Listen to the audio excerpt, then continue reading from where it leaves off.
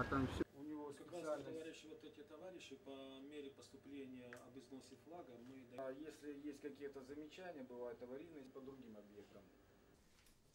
Вкратце это по инструментарию все. Есть исполнительной власти или губернатору.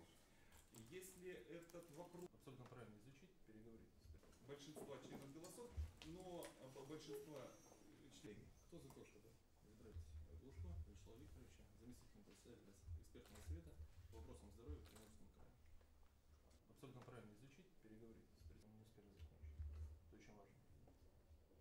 большинства членов голосов, но б- большинства мы перешли к э, следующему шагу планомерной работе по сокращению э, численности в структуре администрации Приморского края.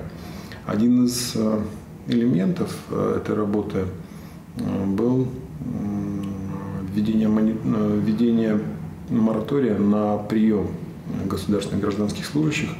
Он действует э, с 1 января 2014 года. Это э, непростое было решение, но тем не менее губернатор принял такое решение. И с 1 января 2014 года мы не взяли ни одного человека на вакантные должности.